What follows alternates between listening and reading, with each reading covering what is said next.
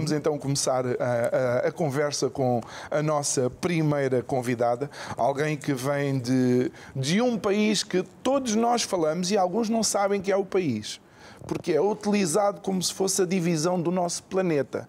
Há quem conheça a linha do Equador e há quem não saiba que o Equador é uma nação. De maneiras que vamos receber a, a nossa convidada Maria uh, de Belém, que é professora de flamenco. Muito, muito obrigado por estar Obrigada. aqui. Obrigada a vocês. Uh, o português está bem? Eu posso falar, sí, eu que falar sí. espanhol. Es- Hablamos los dos. Hablamos los dos? Perfecto. Eh, no, no los tres, no. Não. Eu fico a apanhar papéis. Português também. Português está bem, olha. Muito obrigado por, por estar aqui. Eh, E eu, antes de, antes de eh, voltar hum, eh, ao estúdio, estávamos a fazer a intervenção inicial e eu disse ao Ricardo: eh, Ricardo, eu vou-me arriscar a dizer que o flamenco é a dança com mais alma que existe. Não sei se é verdade ou não. Para mim é, é, Há muitas danças no mundo, não é? E cada quem sente é diferente. Mas flamenco é uma coisa muito. tem muita história. É muito do, do povo também. Então eu acho que é por isso que é tão, tão forte, não é? E as pessoas que vêm flamenco ficam: uau, isto é incrível. Então pode ser. Eu diria que sim, alma. alma, não é? Então, qual é, e, e antes depois de falarmos um, um pouco da sua carreira e do seu trajeto, qual é a história do flamenco? Então, há muitas versões. Ok. ok? Ehm, em princípio, vem de, da Índia, dos ciganos que vêm de lá, da Índia, que viajaram um bocado para a Europa, foram pelo norte, pelo sul, e todos ficaram num sítio que é a Andalucia, não é? Exato. Que é o sul da Espanha.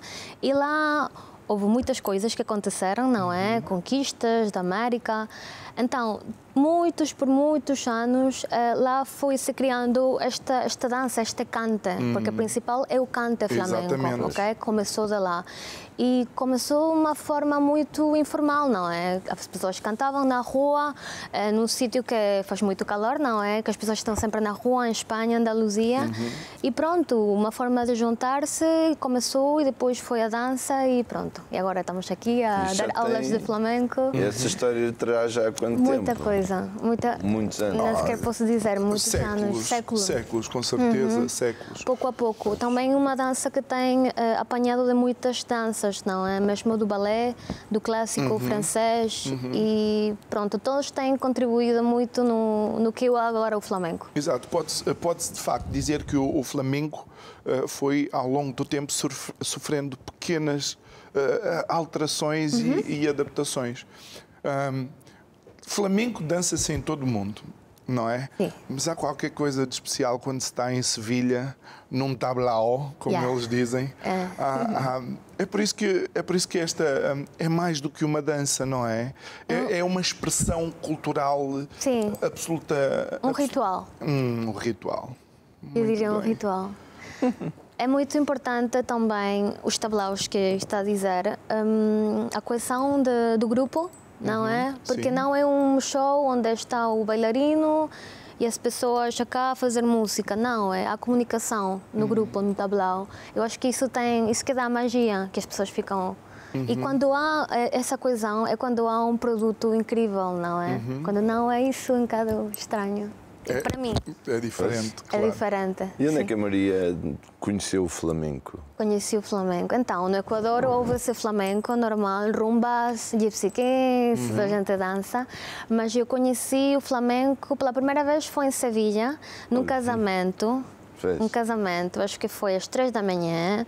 Ah. Pronto, e a primeira coisa que eu vi foi uma cantora eh, cantar e foi incrível. Isso mudou a minha vida. Eu disse, eu quero isso. e Parece, depois. parece sim. que chora ali num Ah, eu, determinado. com- eu comecei a chorar, uma coisa que chegou mesmo à alma. E pronto, imaginem, estamos numa festa a dançar e começa isso, isso eu fiquei, uau, eu não acreditava. E depois houve um quadro flamenco, quatro raparigas a dançar com calças. Com calças? Calças. E eu fiquei, uau, isto é incrível, tenho de investigar, eh, porque para mim isso não era flamenco. E Ah, então depois estão comecei. habituados ao, ao trajes. vestido. Tá, muito aquele- grande, muito Hum, tradicional, não é? E pronto, eu comecei mais assim, não é? Comecei com ehm, adorar a, a bailadoras como Sara Baras, que é Hum. muito que baila de cal, a dança de calças, Uhum. muito mais estilizado, vamos dizer. Agora gosto mais do tradicional. Sim, porque todas as, as influências acabam por ser positivas. Na arte, Sim. embora nós tenhamos mais uma tendência, e vou considerar de facto a dança é- é uma arte, não é? É uma Ah, arte, ah, ah, há sempre ah, uma mistura de, de influências que acaba por ser positiva para, para o Claro. próprio ah, ah, artista. Agora a questão é como é que desenvolvestes ah, ah, ah, a tua relação com o flamenco? Porque tiveste que aprender. Uhum. Já dançavas alguma coisa antes? Eu dançava balé. Ah, De pequenina, eu estava, sim, a base. A melhor base Boa que pergunta. alguém pode ter é a dança clássica, o balé. E eu Uhum. comecei aos 9 anos, fazia também piano no Equador. Ok? É, Quito? Guayaquil, Ah, Guayaquil. no, na costa, Uhum. sim, pronto. E pronto, comecei lá, fiquei, continuei a dançar, fazer piano até os 15 anos, mais ou menos, depois parei. E quando fui viver, depois fui viver a Paris, aos 20 anos. ok? E foi lá que, pronto, eu tinha amigos da Espanha, fui a Sevilha, vi flamenco. E em Paris há muito flamenco. Há muitos profissionais do flamenco. Então é lá que comecei a tomar aulas e tive a sorte que um professor muito muito conhecido, um bailador muito conhecido, foi viver lá. E então eu fazia aulas com ele, José Maia, um cigano pá, incrível. E Então, pronto, comecei lá. Houve, houve- houve um investimento inicial da tua parte na tua própria formação, não é? Sim, sim, sim, muito mesmo. Ah, eu gostei muito disso, então eu sabia o que eu queria. Não ia, por exemplo, eu fui sempre aos melhores professores. E não acabou só fazendo aulas regulares em Paris, sempre queria ir a festivais em Espanha. Ah, Cada vez que há um artista que vem, quero ver o que é que ele faz. E eu não só danço flamenco, também sou, adoro isso, adoro ver, adoro. É? Pois, É mas- isso. Ou seja, não, não- não- tu gostas de ver as outras pessoas também, Também. Uhum. nessa arte, até, aprende sempre com os outros. Não é? Por muitas aulas que a gente tenha, a gente consegue sempre captar coisas diferentes na- no Claro. estilo das outras pessoas. Nunca- Cada um tem um estilo próprio pessoal. Claro, é isso. Dá-lhe um toque genuíno né, Claro. própria pessoa. É isso que é mais bonito, não é? Não é um bailador ou um cantador que tem uma técnica incrível. Para mim é mais o que tem a personalidade.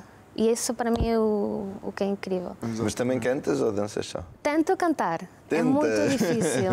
É, é, não é? É muito difícil e uma coisa que eu respeito muito. eh, mas, por exemplo, agora que estou a dar aulas, estou a cantar para elas. Ah, e estou a, a gostar muito. Mas não tenho muito, muita força Tem que treinar, tem que se treinar. Tenho de treinar. Tudo treino, claro.